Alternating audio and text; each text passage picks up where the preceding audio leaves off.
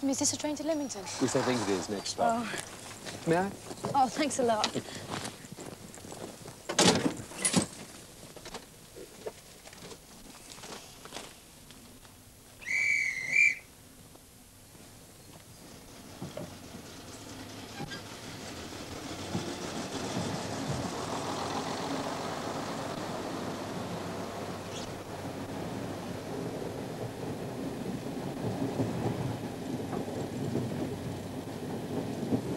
I'm afraid I've got a tiny confession to make.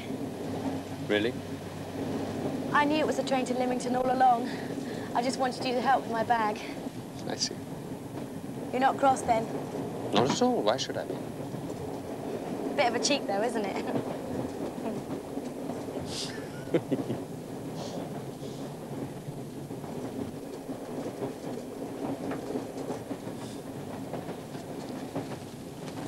Actually, I have a tiny confession to make, too.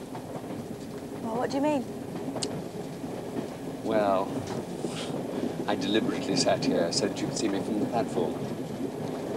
Then I quite intentionally caught your eye, holding your gaze just long enough to reassure you that I was an honest sort of chap. You took the bait. Here we are. On our way to Lymington. No, Dunstable.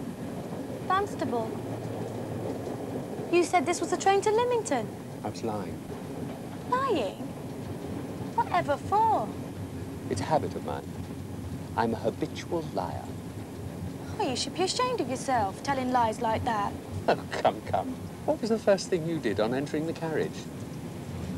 You asked me whether this was the train to Lymington, and then moments later you confessed you knew it was the train to Lymington all along. So either your first question contained an implicit falsehood, or your second statement was an out-and-out lie.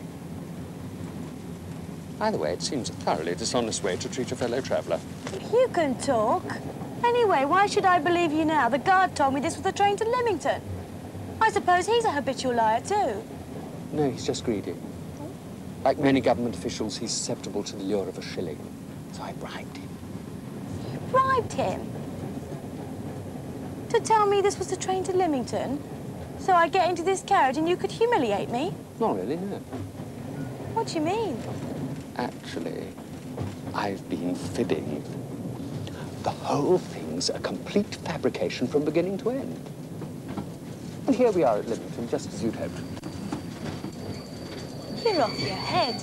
Nonsense, I just thought it would help pass the time. Let me give you a hand. No, thanks, I can manage. There you are, you see. Another untruth.